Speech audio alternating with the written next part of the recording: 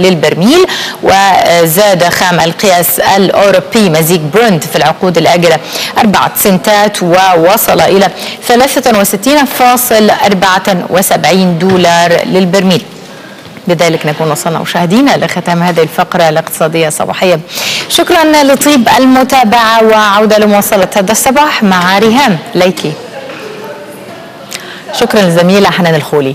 لما بنتكلم عن الاستعدادات من قبل الحكومة للتيسير على المواطنين في الشهر الكريم بالتأكيد بنتكلم عن حقوق للمواطن واجبات عليه بمعنى حقوقه ان تكون احتياجاته ملباة وان يحصل على ما يحتاج إليه من السلع الغذائية الرئيسية بموجب اهتمام الحكومة وتعليماتها في هذا الشأن. والواجبات متمثلة إن هو يتحلى بثقافة الترشيد ويحسن استخدام ما هو متاح ليه من موارد. والحقيقة ملاحظ بالتأكيد إن في الفترة الأخيرة كان قاسم مشترك في ما تناقشه الحكومة من خلال اجتماعاتها الأسبوعية هي الاستعدادات والأجواء التمهيدية لشهر رمضان الكريم وتقديم التيسيرات الواجبة إلى المواطنين لكي يمر هذا الشهر على خير بإذن الله. هنقترب بشكل أكبر من ما تقوم به الحكومة المصرية من أجل الاستعداد للشهر الكريم وفي الغد بالتأكيد هو أول أيام شهر رمضان المبارك كل عام وحضراتكم بخير. نتابع التقرير ونرجع مرة ثانية لحضراتكم في وقفة حوارية حول هذا الموضوع. على قدم وساق. تسير استعدادات الحكومة لشهر رمضان المعظم. مجلس الوزراء برئاسة إبراهيم محلب عقد اجتماعات لبحث خطط الوزارات المختلفة خلال رمضان. كما ناقش الاجتماع بحث ما يتم تنفيذه بشأن الاستعدادات لشهر رمضان خاصة فيما يتعلق بتوفير السلع الغذائية المختلفة في الأسواق وإحكام الرقابة من الجهات المسؤولة مثل جهاز حماية المستهلك حتى لا تحدث زيادات غير مبررة في الأسعار أو تتم المتاجرة في الأسواق السوداء بالسلع المدعومة. وزارة البترول قالت إنها قررت زيادة كميات البوتاجاز إلى أكثر من مليون اسطوانة يوميا خلال الشهرين الجاري والمقبل لمواجهة احتياجات المواطنين في شهر رمضان والمقرر أن يبدأ يوم الخميس المقبل. وقررت الوزارة زيادة كميات البوتاجاز إلى 1.1 مليون اسطوانة يوميا بزيادة نسبتها 10% عن نفس الفترة من العام السابق. وأوضحت الوزارة أنه سيتم تشغيل مصانع تعبئة البوتاجاز بكامل طاقتها الإنتاجية إضافة إلى التنسيق الجاري مع وزارة التموين ومباحث التموين لإحكام الرقابة على التوزيع خلال شهر رمضان. وزارة التموين أعلنت توفير العديد من السلع التموينية المدعومة وذلك للمواطنين خلال شهر رمضان الكريم حيث أكدت الوزارة أنها ستعمل على توفير هذه السلع للمواطنين خلال الشهر الكريم بأسعار مدعومة وكذلك بتخفيض السعر بنسبة 50% عن السعر المدعوم. وقال وزير التموين خالد حنفي إن المواد المدعومة سيتم توفيرها عبر الشركة القابضة للصناعات الغذائية المنتشرة عبر مختلف أنحاء الجمهورية. كما قرر وزير التموين استمرار صرف نقاط الخبز لشهري يونيو ويوليو ومنحة رمضان التموينية وهي 50% لكل فرد مسجل على البطاقة التموينية مع صرف فارق نقاط الخبز حتى نهاية شهر رمضان الكريم.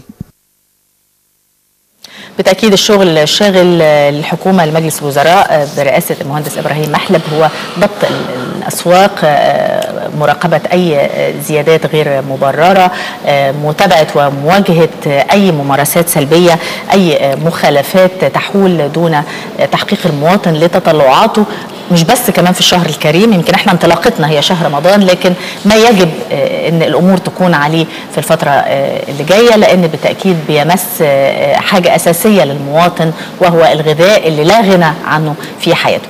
معانا في هذا اللقاء المتخصص في شأن الوزراء والكاتب الصحفي الأستاذ كمال ريان وبالتأكيد لينا أكتر من وقفة وأكتر من محور مهمين جدا نتكلم عليهم خاصة وإحنا على أبواب شهر رمضان الكريم. في البداية كل سنة وحضرتك طيب. كل سنة وحضرتك طيب يا أستاذ ريهام وكل سنة والشعب المصري كله طيب وبخير وفي أمن وسلام إن شاء الله. آه طبعا لسه كنا بنتكلم ويمكن حضرتك يعني أبلغ من يحدثنا في الموضوع ده إن الاجتماعات الأسبوعية الأخيرة لمجلس الوزراء آه كان دايما حتى في متابعتنا الإخبارية رقم واحد هو الاستعدادات لشهر رمضان نعم. المبارك. أهم هذه الاستعدادات أستاذ آه متابعة حضرتك. آه حضرتك الاستعدادات لشهر رمضان طبعا آه يعني بتشمل الكثير من المحاور يمكن في مقدمتها محور الأسعار وضبط الأسعار وأيضا التأكد من توافر السلع بسعر مناسب لكل فئات المواطنين. إحنا يمكن يمكن في الأنظمة الاشتراكية بيبقى في حاجة اسمها تسعيرة جبرية إن إن الحكومة بتحط تسعيرة أو في الأنظمة الشمولية بشكل عام يعني الحكومة تحط تسعيرة وتقول زي زي ما كان معمول بيه في الستينات عندنا إن التسعيرة ده بكذا ده بكذا واللي بيبيع خارج التسعيرة بييجوا يقبضوا عليه ويحاكموه كده في الأنظمة الحرة أو الأنظمة الرأسمالية أو اللي بتقوم على الاقتصاد الحر مفيش حاجة اسمها تسعيرة جبرية. وأعتقد إن الأنظمة اللي هي الشمولية أعتقد إن اختفت تقريبا من العالم اللي هي بتاخد بنظام التسعيرة الجبرية. دلوقتي كله اقتصاد حر قائم على العرض والطلب والأسعار بتحددها آه، آه، قوى السوق طيب هل في ظل الأنظمة دي الحرة أو الأنظمة الرأسمالية الحكومة ما عندهاش آلية تخليها تضبط الأسعار لا بالتأكيد النظام الاقتصادي الحر فيه الآليات لا، عفوا اللي تكفل للحكومة آه، ضبط الأسعار. إيه أهم الآليات؟ عندنا آليتين الحقيقة. عندنا الآلية الأولى هي طرح السلع بأسعار آه، مناسبة أو أسعار مخفضة من خلال المجمعات اللي هي مملوكة للحكومة. آه، بحيث المواطن يبقى قدامه آه، هذه المجمعات موجودة فيها سلع بأسعار مناسبة يقدر يروح لها وهذه اولا دي بتوفر للمواطن بديل عن ال- الحاجات اللي في محلات البقالة اللي ممكن تستغله وفي نفس الوقت لما يكون في سلع منافسة ده بيأثر على المحلات الأخرى اللي خليها تخفض أسعارها بفعل العرض والطلب الموجود في السوق. دي الآلية الأولى. الآلية الثانية هي تفعيل أجهزة حماية المستهلك وأجهزة حماية المنافسة ومنع الاحتكار. إحنا عندنا قانون آه، لمنع ل- لمنع الاحتكار وحماية المنافسة وعندنا جهاز لتشجيع المنافسة ومنع الاحتكار وعندنا جهاز لحماية المستهلك. هذه الأجهزة وفقا للقانون عندها الآلية إن هي تراقب الأسواق إن هي آه، في آه، عقوبات على الناس اللي هي ممكن ترفع الأسعار بشكل غير مبرر. يعني لكنها للأسف يعني خلينا برضو منصفين بتعمل مجهودات لكنها لا تنجح بنسبة كبيرة في إن هي تحتوي وتستوعب حاجات ال- ال- المواطنين. ده صحيح. إيه السبب؟ يعني هل هي آه، آه، في حاجة لمزيد من التفعيل ولا إحنا في حاجة إلى كيانات أخرى تكون معنيه بحماية حقوق المواطن هو السبب حضرتك حاجتين. اولا آه، هل هذه الأجهزة عندها القوة وعندها العدد من العمالة والموظفين والمراقبين اللي يخليهم يقدروا ينتشروا في مختلف المحافظات وفي كل الأسواق؟ دي حاجة. الحاجة الثانية وده مهمة آلية تواصل المواطن مع هذه الأجهزة. يعني أنا دلوقتي مواطن ولاحظت إن في في منطقة من اللي أنا موجود فيها إن في ارتفاع غير مبرر أو حد بيتعمد أو حد بيخفي سلعة عشان يرفع سعرها أو كده.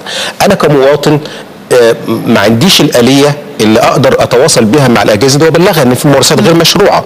فالحقيقة يعني إحنا محتاجين آليات للتواصل بين المواطن وهذه الأجهزة أحيانا بيتم الإعلان عن خط ساخن أو غيره بس ما بيبقاش آه، المواطنين معظم المواطنين ما بيعرفوش أعتقد إن إحنا علينا يا إما ما بيعرفوش يا إما الخطوط ما يا إما الخطوط مشغولة ومش كافية. آه ده صحيح. آه أنا ما أعرفش ليه إحنا مش بنوظف آه، تكنولوجيا المعلومات. آه أنا عارف طبعا يمكن في مواطنين كتير ما عندهمش قدرة آه آه، إن هو يدخل إنما أعتقد إن ده يخف على الأقل الضغط المواطنين اللي عندهم قدرة على التواصل انه يدخل على موقع إلكتروني أو أو يبعت ميل أو كذا أو كذا ليه الأجهزة دي ما بتعملش هذه الآلية؟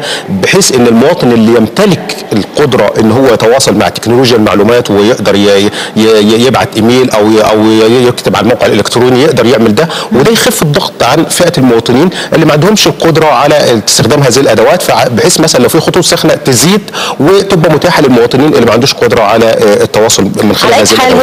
جهود مشكورة من الحكومة لكن بالتأكيد في تطلع إن الوتيرة تكون أكثر تسارعا في الفترة القريبة القادمة آه، آه، لو هنتكلم عن التحدي اللي إحنا بنتكلم عنه شهر رمضان المبارك آه، المشكلة دي كلها مش هتتحل بين يوم وليلة طبعا. لكن بالتأكيد نظرا للطبيعة الخاصة لهذا الشهر الجهود على قدم وساق من قبل الحكومة لتقديم ال- التيسيرات لل- للمواطنين نعم. لو هنتكلم عن الارتفاع غير المبرر في الأسعار ودي مسألة حاصلة وممكن تحصل أيضا في في شهر رمضان نعم. لجشع التجار وكتير الحقيقة في الفترة الأخيرة بنسمع عن ربط يا أستاذ كمال بين آه، الارتفاع غير المبرر للاسعار وجشع التجار وبين الإهدار نعم. اهدار المواطن أو المستهلك في استخدامه. لما بيكون في إقبال مبالغ فيه على شراء سلعه معينة آه، كتير بيشوفوا إن ده بيكون ليه علاقة مباشرة جدا نعم. برفع الأسعار. رأي حد آه، هي فعلا في ثقافة مجتمعية الواحد بيستغرب منها. يعني آه، حضرتك يعني لو إحنا يعني كل سنة وحضرتك طيب وإحنا مروحين النهارده بالليل أو آخر النهار هتشوفي قد إيه التزاحم وعلى المحلات هجوم كاسح. هجوم رهيب. صحيح. وكأن إن النهارده اللي مش هيلحق يجيب الحاجة خلاص هتخلص. دي ثقافة إحنا محتاجين نغيرها. آه ثقافة مجتمعية. آه المفترض إن رمضان في الأصل طبعا آه شهر زهد شهر عبادة شهر آه بيبقى حتى آه آه، يعني يعني حتى صحيا على فكرة. طبعا. مش مف... ما يستحبش إن الواحد ياكل كتير وقت الفطار. يعني يعني حتى الحديث آه، الرسول صلى الله عليه وسلم بيقول ثلث لطعامه وثلث لشرابه وثلث لنفسه إنما إحنا للأسف آه، الثقافة عندنا وأعتقد إن برضه ومش بس في الأكل على فكرة يا أستاذ كمال. يعني يعني الاعتدال مطلوب على فكرة ولا تجعل يدك مغلولة إلى عنقك ولا تبسطها كل البسط. ده حقيقي. وده ينطبق ده يسري بقى على الأكل على الميه على, على كل حاجة. آه، حتى على الكهرباء. حتى الدين نفسه الغلو في الدين. نفسه. إحنا آه، ديننا دين الوسطية. دين الوسطية من كل حاجة. من ناحية السلوك الحياتي والسلوك الديني إحنا دين وسطي. فاستهلاك الكهرباء وكلها. وعلى فكرة التوفير من من من يعني ال- ال- القواعد اللي بيطالبنا بها الدين. يعني يعني آه، أعتقد إن طبعا أنا مش حافظ الحديث بالظبط لكن في حديث بيتكلم عن حتى عن آه، عدم الإسراف في الوضوء. في الوضوء. يعني حتى وأنا بتوضأ المفروض لا أسرف. فتخيلي الدين بيعلمنا كل ده. فإنما إحنا للأسف أحيانا أو مرات كتير بناخد الحاجة بشكلها. إحنا عندنا رمضان المفترض نتعامل عشان الزهد عشان الإنسان يحس قد إيه نعمة ربنا عليه. أنا لما بصوم أو بجوع أو كده بحس بنعمة ربنا.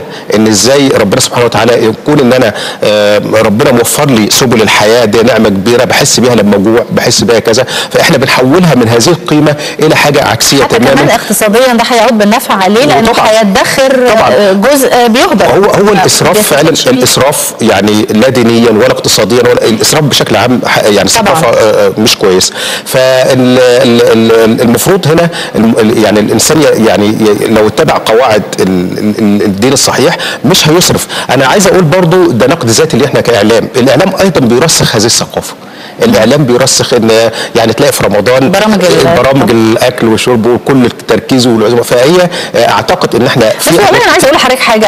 المفروض أتفرج وأطلع وأعرف الوصفات وأعرف كل حاجة بس مش معنى كده إن أنا لازم أعمل الوصفات دي كلها على مدار ال 30 ما ده صحيح. فهي المفترض حقيقة في دور على الحكومة وفي دور على المواطن. الدور على الحكومة فعلا آه، آه، يعني برضه عشان ما نبقاش اتكلمنا بس على المواطن وجايبين لا الحكومة طبعا عليها دور إنها توفر السلع بأسعار مناسبة. طبعا. آه، لا وعلى فكرة ده كان بداية كلامنا. ده صحيح ده طب بداية خليني. اتكلم مع حضرتك خلينا يعني إيه نفند الوزارات طبعا كل الوزارات آه، آه، مهمة لكن في وزارات محددة بتكون حيوية جدا في شهر رمضان زي وزارة التموين ووزاره صحيح. البترول ووزاره ال- ال- الكهرباء. الكهرباء. آه، كان في توجيهات من وزارة الكهرباء آه، يعني بالإضافة للتيسيرات اللي بنتكلم عنها لكن كمان كان في توجيهات إن ما يكونش في إسراف في الاستخدام فيما يتعلق بأجهزة التكييف. طبعا واضح إن إحنا عندنا صيف حر السنة. دي ومتزامن مع الشهر الكريم هتبتدي درجات الحرارة تبتدي من 38 وطالع. وفي استخدام أيضا ال- آه، الزينه صحيح. الفوانيس ده صحيح. المضاءة أغلب الوقت وكده فيعني يا ريت طبعا حضرتك أكيد كنت متابع طبعاً، منها طبعاً. اللي أفادت بيه وزارة الكهرباء في هذا الشيء ما ده صحيح إحنا على فكرة يمكن وإحنا بنتكلم عن أزمة الكهرباء وحلولها إحنا عندنا شقين في الحلول آه شق اللي هو آه زيادة ال- ال- ال- المتاح من الطاقة الكهربائية وده من خلال إنشاء محطات جديدة وغيرها. وفي شق خاص بترشيد الاستهلاك ترشيد الاستهلاك معنى إيه؟ ده ترشيد الاستهلاك ده في مصلحة المواطن وفي مصلحة الدولة. آه إن أنا مثلا أنا عارف إن في رمضان بيزيد الضغط بيزيد ضغط أجهزة التكييف بيزيد ضغط الزينة زي ما حضرتك اشرتي بيزيد ضغط كمان متابعة التلفزيونات. بتبقى ضغط كبير في رمضان خصوصا. فترة بعد المغرب فترة الذروة دي. فأعتقد إن دي الفترة اللي بتعمل ضغط كبير على الشبكة الكهربائية. آه، إلى أي مدى حضرتك بتلمس إن في وعي إن إحنا من مصلحتنا إن إحنا نخفف أحمالنا الكهربية بمزاجنا بدل ما الدولة هي اللي تمارس ده وبالتأكيد هيبقى صعب إن هي طبعاً. تعمله متوازن بالشكل المطلوب يعني إحنا حتى كنا بنتابع في فترات سابقة إن في مؤشر للأحمال الكهربية آه، من خلال القنوات المختلفة على التلفزيون المصري. بيوضح إحنا وصلنا لإيه معتدل ولا ابتدى يبقى فوق ال- اللي المطلوب يكون عليه وغير كده يعني حضرتك آه، يعني فكرة إن الخدمة دي تكون موجودة وفكرة إن الوعي يزداد عند المواطن إن آه، الناس تقعد في مكان واحد آه، جهاز تكييف ما يبقاش فيه أجهزة بتستخدم في حجرات آه، ده صحيح ده فارغه. ما فيش حد وده. من مصلحة المواطن نفسه يعني أنا يعني آه، أعتقد إن بدأت الثقافة الحقيقة ودي يمكن لامسينها إحنا تنتشر عند المواطنين بس طبعا لسه ما وصلناش للمرحلة الم- المطلوبة أو طموحاتنا لكن بدأت ثقافة يعني خصوصا موضوع اللمض الموفرة مثلا أنا لاحظت ناس كتير جدا بدأت تستخدم اللمض الموفرة آه، لأن المواطن برضو بدأ يحس إن الترشيد ده لمصلحته الشخصية صحيح. آه، اولا بمعنى إيه آه، دلوقتي أنا كمواطن لما هشغل أجهزة تكييف في في أماكن أنا مش موجود فيها طب ما ده ضغط. اولا استهلاك زيادة عليا هدفع فاتورة عالية وفي نفس الوقت استهلاك على الشبكة نفسها فأعتقد إن إحنا محتاجين آه، نركز على النقطة دي محتاجين نبرز للمواطن إحنا أحيانا المواطن ساعتها مش هسيب بديل للدوله إن يبقى في بعض الانقطاعات. آه. وأنا أنا عايز أقول إن مصلحة المواطن ومصلحة الدولة مصلحة واحدة طبعا. مفيش تناقض بين مصلحتي كمواطن ومصلحة الدولة حتى لو جيت أحسبها من ناحية شخصية بحتة أنا لما بوفر في الكهرباء أنا بوفر لنفسي وفي نفس الوقت بوفر للدولة. ما المواطن هو الدولة الم- يعني الدولة هي مجموعة الشعب فاحنا كلنا في مركب واحد. أنا لما بوفر بحقق مصلحة شخصية ليا ومصلحة للدولة. بحقق مصلحة شخصية إن أنا الفاتورة ما بتجيش عليا. أنا لو في تكييف في مكان أنا مش محتاجه مش محتاج. أشغله مش مطلوب أعمله. لو لو أقدر أعمل لمض موفرة ماشي. لو في آه، مش في, في أماكن أنا مش موجود فيها ليه ما اطفيهاش ليه اخليها لأن ده استهلاك زيادة عليا في نفس الوقت ده في المقابل في أمل إن آه، يحد بشكل كبير من السوق السوداء في شهر رمضان خاصة فيما يتعلق باسطوانات البوتاجاز لأن طبعا حضرتك عارف طبعاً، إن طبعاً، آه. بتكون غير متوفرة ولما بتتاح بتكون بأسعار بالتأكيد غير مناسبة أعت- للأوضاع الاقتصادية. أعتقد إن ال ال ال يعني يمكن الأشهر الأخيرة الحمد لله يعني نمسك الخشب ما فيش يعني إيه موضوع أزمة البوتاجاز تراجع كثيرا. آه يمكن كان في حاجات تانية في السلع التموينيه هي اللي زادت أسعارها. آه لكن مع الطبيعة الخاصة للشهر الكريم آه استهلاك آه طبعا. آه، لا, الأنابيب لا هو يمكن في, في. الصيف في الصيف عادة في الصيف بتبقى مفيش أزمة بوتاجاز زي الشتاء. يعني عادة أزمات البوتاجاز بتبقى أكتر في الشتاء.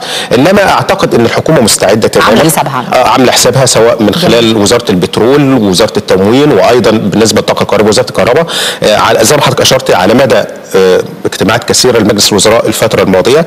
كان موضوع الاستعدادات لرمضان كان موضوع توفر السلع. أنا عايز أقول الموضوع آه، زي ما حضرتك برضه اشرت في مقدمة البرنامج موضوع آه، توفر السلع وبسلع مناسبة أو بأسعار مناسبة للمواطنين ده موضوع دائم آه، شبه دائم على اجتماعات الحكومة.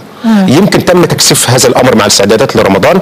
آه، في وزارات قدمت تقارير سواء وزارة التموين أو الكهرباء أو البترول قدمت تقارير لمجلس الوزراء. هذه التقارير كلها تشير إلى أن هناك اطمئنان وهناك آه، الحمد لله يعني آه، رقابة وعلى السوق. الحمد لله. على ذكر الرقابة أنا عايزة أقول حاجة. طبعا المفروض إن ال- الوازع الديني والأخلاقي يكون حاضر عندنا بقوة خاصة في الشهر الكريم. لكن ده ما يمنعش إن يكون في آه، آه، ممارسات آه، غير قانونية وغير أخلاقية تتم. ومن هنا بتيجي أهمية إن يكون في مراقبة حقيقية للأسواق وإن يكون في حملات يعني ده حقيقي. يعني هل حضرتك فعلا بتلمس من خلال اللي افادت بيه الحكومة وال- والإجراءات الفعلية اللي حاصلة دلوقتي إن إن في مؤشرات مبشرة في بالت... الموضوع بص حضرتك يعني بالتأكيد التقارير اللي الحكومة بتدرسها أو الوزراء بيقدموها بيشيروا إلى إن في تواجد أكبر في تكثيف للحملات بالإضافة لطبعا توفير السلع في المجمعات بأسعار مناسبة في تكثيف ورقابة على السوق. إنما طبعا ده التقارير. إنما بالتأكيد يعني في مشاكل موجودة ما نقدرش نقول إن كل حاجة تمام وإلا يعني هنكون يعني مش صح. يعني طبعا في مشاكل كتير في محتاجين تكثيف رقابة أكبر. يمكن رئيس الوزراء لما كان ينزل بعض الأسواق وفي الجولات في المحافظات كان بيبدي عدم رضاه عن حاجات كتير. فأعتقد إن آه موجود الوزارات بتؤكد إنها متابعة الوضع لكن محتاجين المزيد من الرقابة والمزيد من التواصل بين المواطن وبين الأجهزة المختصة. آخر حاجة وسريعا جدا بعد إذن حضرتك في تأجيل لمنظومة الكرت الذكي أفتكر نعم. تأجيلها يعني. هو مش- هو- بعد بعد رمضان بعد العيد على طول لا لا هو اللي حصل إن الرئيس الجملة نفسها، على طول يعني. الرئيس طلب من الحكومة دراسة تأجيل منظومة القروض لحين إن يعمل يعني كل القطاع اللي تدخل في المنظومة تحدد وتطبق بعدها ما تحددش موعد لكن الحكومة بناء على طلب الرئيس الحكومة بتدرس تأجيل المنظومة وأعتقد إنها تؤجل لكن ما تحددش الموعد الجديد بشكر حضرتك شكرا جزيلا أستاذ كمال ريان الكاتب الصحفي والمتخصص في شأن مجلس الوزراء وكل سنة وحضرتك طيب وان شاء الله طيب. الأجواء تكون طيبة خلال الشهر الكريم طيب. شكرا لكم مشاهدينا الكرام ختام لقائنا مع حضراتكم النهارده في هذا الصباح وبالتأكيد لقاءاتنا اليومية متكررة ومستمرة معاكم من 8 حتى 10 صباحا بتوقيت القاهرة كل عام وحضراتكم بخير